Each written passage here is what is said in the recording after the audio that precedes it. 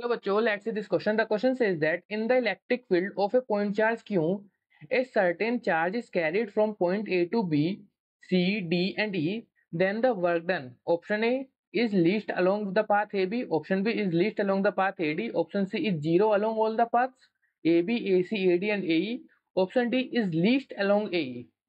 सो so, हमें क्या given है हमें एक स्फेयर एक स्फेयर गिवन है और एक क्यू क्यू चार्ज रखा है सेंटर पर है ओ पॉइंट पर है सेंटर पर ना कि नीचे की तरफ और हमें पॉइंट्स गिवन है बी सी डी ई जो चार्ज क्यू से सेम डिस्टेंस पर है ठीक है तो हमें बताना है कि जब ए से बी चार्ज लाया जाता है बी ए से सी फिर B A to D and A to E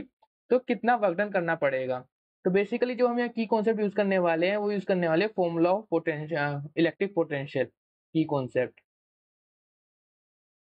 तो electric potential due to a point charge कितना होता है electric potential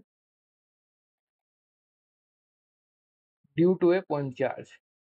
due to a point charge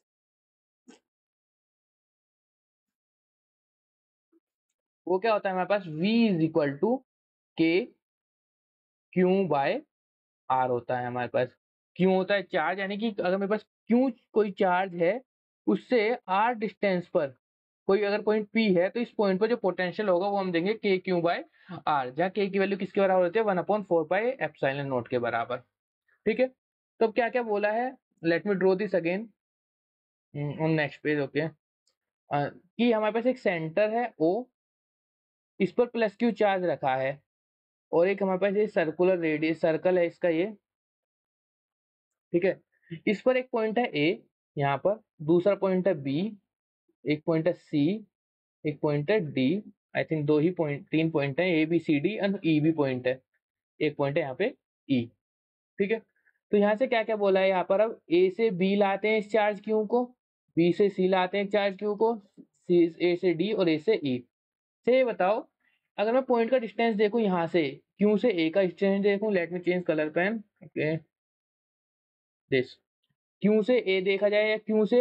B देखा जाए क्यों से सी देखा जाए क्यों से डी या क्यों से ई e. सबका डिस्टेंस क्या होगा सेम होगा let see this is R क्योंकि रेडियस ऑफ दिस सर्कल होगी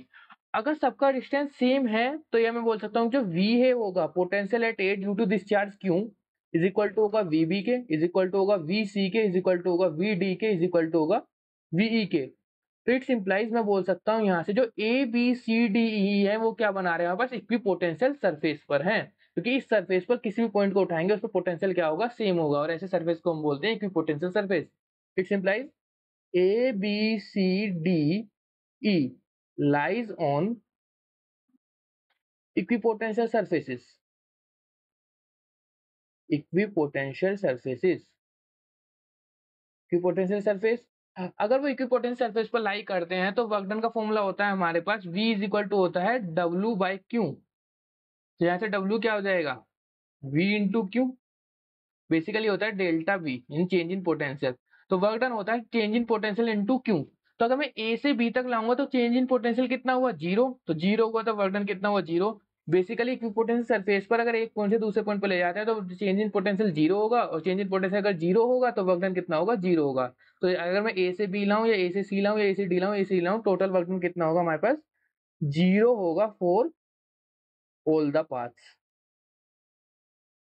तो the final answer is zero तो ऑप्शन चेक कर लेते हैं is least along the path A भी नहीं is least along the path A भी नहीं is zero along all the path so option number C is correct hope you understand well best of luck